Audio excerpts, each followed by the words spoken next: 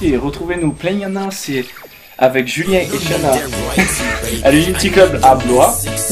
Le 8 novembre, on va tout casser Plaignana, c'est pratique.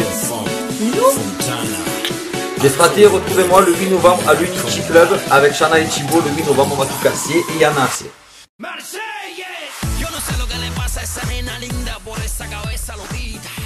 Cada.